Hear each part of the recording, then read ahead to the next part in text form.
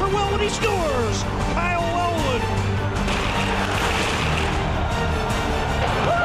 Alexander Olin, one-timer scores. Alex Burrows shoots. He scores.